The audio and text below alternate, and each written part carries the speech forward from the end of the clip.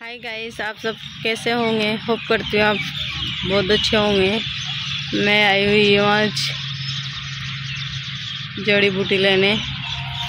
तो जो जड़ी बूटी है, वो है, वो जो पेड़ दिख है, मैं आपको पास में जाके दिखाती हूँ। वो पेड़ है, बोर का। जो छोटे छोटे बोर होते हैं, उसकी जड़, उससे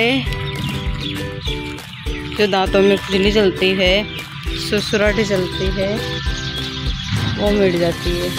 इसके दो, इसके पानी गर्म करके इसकी जड़ से पानी जो होता है ना, उसको गर्म करने के बाद इसको कुल्ले करते हैं नमक डाल के।